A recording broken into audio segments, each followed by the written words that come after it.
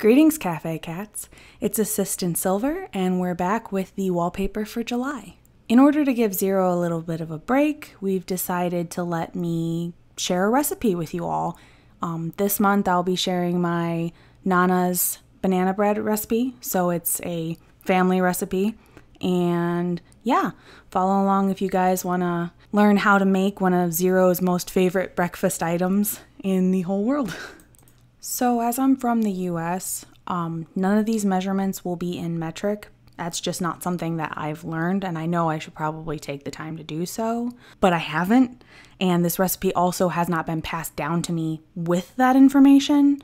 So, for now, it'll just be in the measurements that I I'm most comfortable with. So I'm sorry if that makes it difficult for anyone. Um, in order to make this recipe, which is my Nana R's banana bread, you will need two and one half cups of all purpose flour, one and one third cups of sugar, four teaspoons of baking powder, one teaspoon of baking soda, half a teaspoon of salt, about eight medium sized bananas that are fully ripe, two thirds a cup of shortening, so that can be vegetable shortening, margarine, or butter, that's up to you, four tablespoons of milk, four room temperature eggs, and optionally a half a cup of chopped nuts. Or if you prefer, you can use sunflower seeds. That's what I substitute often because I don't always have chopped nuts. To be clear, this makes a double batch of banana bread, so you will need two loaf pans in order to bake up this specific uh, recipe. If you would like less than two loaves of banana bread, then just cut these numbers in half and it'll give you one loaf, which is about 16 servings. Otherwise, it's a two loaf, 32 serving type of deal. So, uh, yeah, let's get started. Your first step is going to be getting your bananas ready.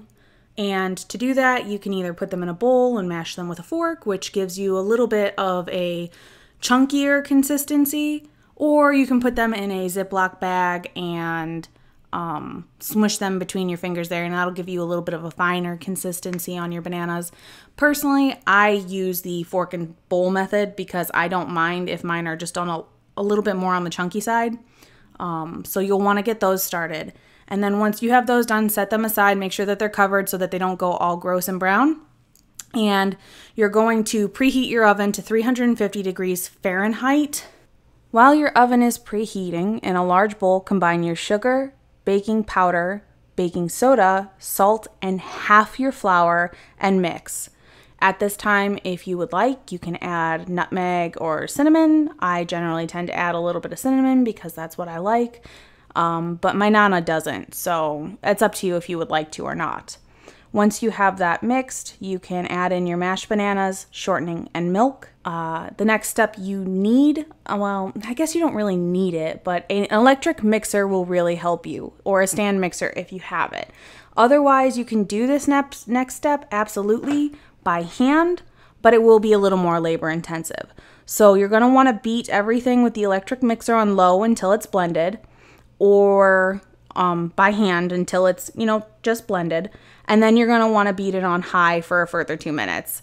You can really get a serious workout on your arm muscles there if you do it, but don't skimp on this two minutes. Once you have everything blended, now is when you want to add your room temperature eggs and the rest of your flour. You can, if you would like, add a splash of vanilla extract in. My Nana doesn't. I do. It's personal preference, but it's not required. Um, and then you're going to want to blend everything until it's, you know, sm- not smooth to say, but not patchy either. You don't want any like lumps of like large patches of just dry flour. That would just not be good. So once it's blended, um, you can, if you have them, add in your nuts or sunflower seeds or what have you, and just gently fold those in through your batter. Take a minute when your batter is completely finish to grease up your your loaf pans. You can use non-stick spray if you want or like line the bottom with parchment paper, whatever whatever you use. I tend to just slather the whole thing in butter and I've never had problems with it coming out.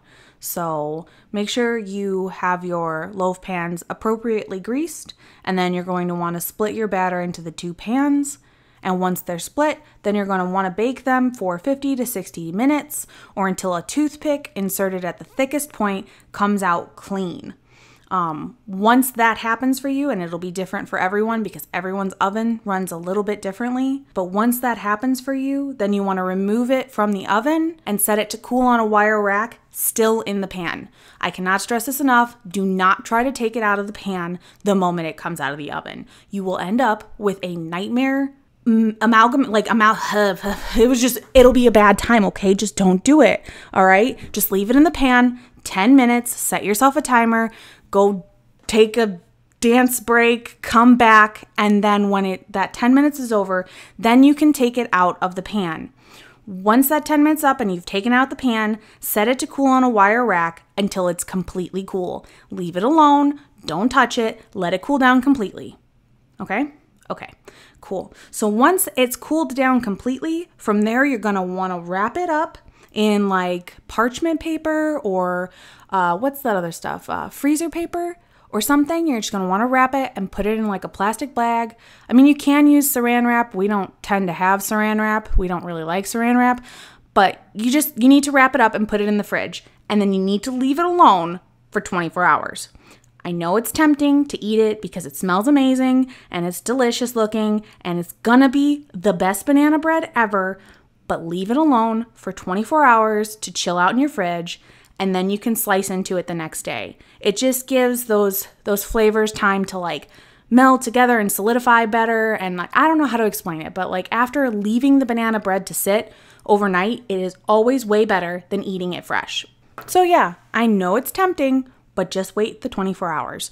Trust me. And that's really all there is to it. That is my Nana's banana bread recipe and one of Zero's most favorite breakfast items. And yeah, I hope you guys will try it out and let me know how it goes and if you liked it or not. And that's about it. Anyway, um, thank you guys so much for watching, and I hope that you're having a totally awesome day. And I will catch you guys sometime in the future or around the Discord server if you're there. Bye for now, guys. See you later. Oh, and because I forgot, just so you guys know, I didn't tell my Nana that I was giving you guys this recipe. So, snitches get stitches. Bye.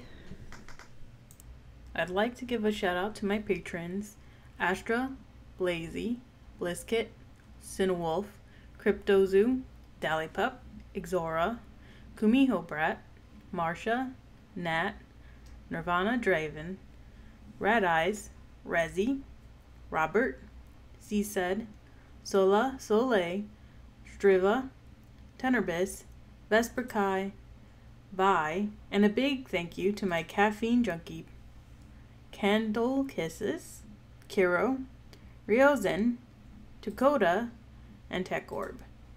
Thank you guys so much. And also, happy birthday, Dakota Vega.